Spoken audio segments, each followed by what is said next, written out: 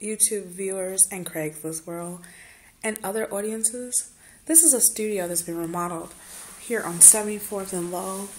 Um, I had this video on here already, but this is the new updates for the new tier we have. The carpeting's new. Got light fixtures here. And this is the living room area. It's pretty good size, you know. And then the bathroom. There's a couple things that needs to get done in here, but this is a good sneak peek.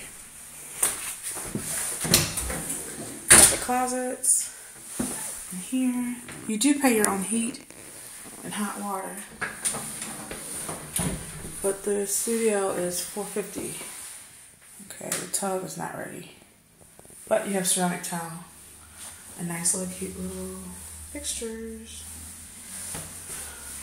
Now if you wanted to, you could put a little shower curtain rod thingy that's decorative and put a drape here so you can get dressed while your guest is in the living room too. And the great thing about a studio is if it doesn't have the kitchen in the living room, bedroom area, okay, and this doesn't have it. So you have another closet here. The heater system is in the basement. And this is the kitchen. So you can put an easy full ki kitchen table in here. Okay. And these are the cute cabinets they put in. Very cute.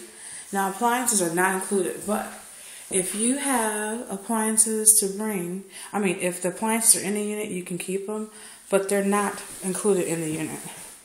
Okay? All right, call me, Martin the Broker. 773 301 1091. God bless.